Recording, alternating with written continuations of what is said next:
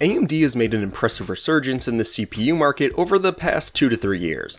And although they've been around for roughly as long as Intel, they didn't actually enter the consumer CPU market until the late 70s. And ever since, they've been trading blows with their competitors on multiple fronts, with some delivering powerful, industry shaking blows, and others, well, they tried. However, I'm sure we can all universally agree that AMD's Zen CPU microarchitecture is at least mostly responsible for the resurgence we've seen from AMD in the recent years. And while Zen, Zen Plus, and Zen 2 based chips are excellent value processors, in the years before, we had a little something called the FX series of CPUs, which was laser focused on taking as much market share in the budget consumer space as possible. However, if you've ever owned one of these legendary CPUs, you'll know that today they're really struggling to keep up with modern quad-core Zen chips released over two years ago. So then, what's holding these chips back from taking the budget gaming crown? And what did AMD learn from their mistakes on what was supposed to be a revolutionary new design philosophy?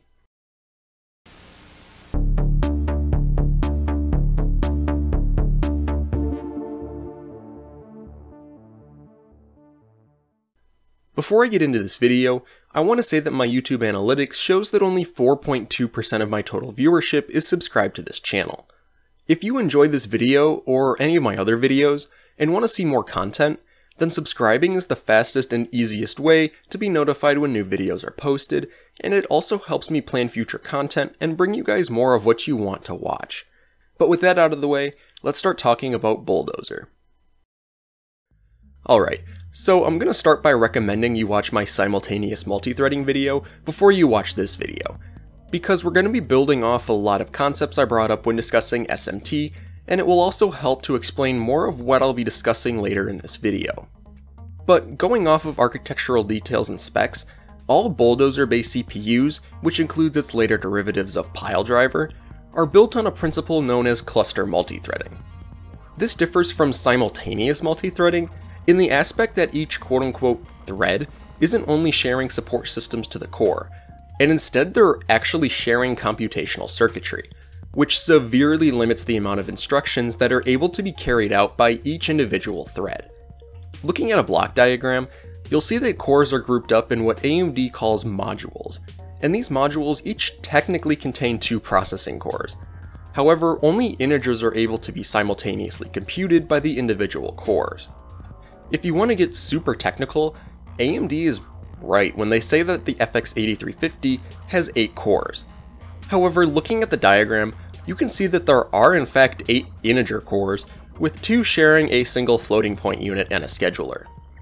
If we want to compare this to what I would consider a true 8-core CPU, in this case my i7-9700K, you'll see that each CPU core has its own dedicated integer cluster, along with its own FPU and scheduler, meaning that each core can operate independently of one another without having to share cycles with another core on the same scheduler.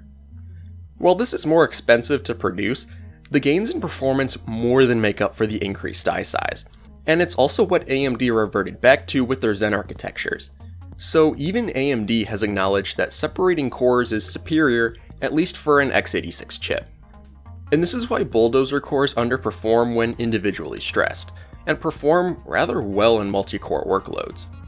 To understand this a little more, say you're this program trying to execute these three lines of code.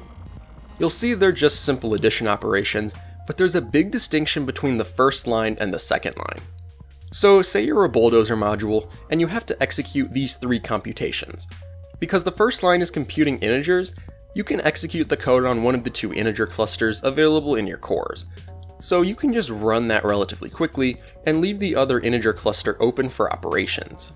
However, the second line of code is computing a floating point number, meaning that you have to execute it on the only FPU that you have.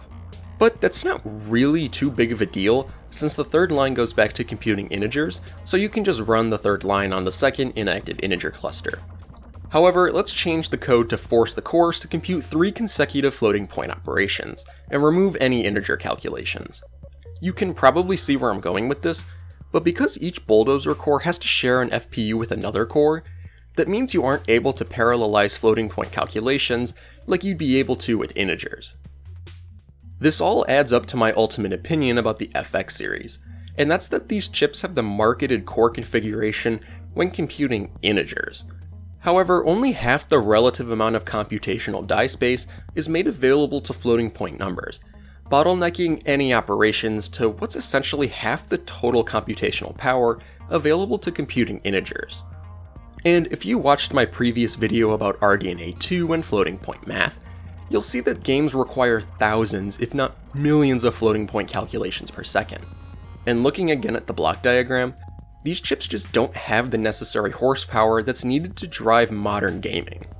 While yes, these chips are still alright for everyday desktop usage, if you're looking to game on your build in 2020, I would strongly recommend to avoid any of the FX series CPUs, along with chips built on the derivative architectures.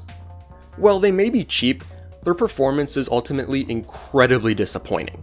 But I do have to say that I had a blast with my FX 6300 when I built my first system back in 2016, and I'll always remember those chips with a little bit of fondness. So thanks for watching, and if you enjoyed, don't forget to leave a like and subscribe, and click the bell icon so you'll be notified about all our future uploads. I've been making a lot of super technical videos over the past few weeks, and I'm kinda curious as to what you guys think of them. Obviously I can cover other topics, and even change up how I present this technical information, but as of now, I'm really just curious as to what you guys think of this overall style and presentation format. But it was fun talking, and if you want to learn more about computer hardware software, then the annotations on screen are a great place to start. Thanks for spending your time with me, and thanks for watching.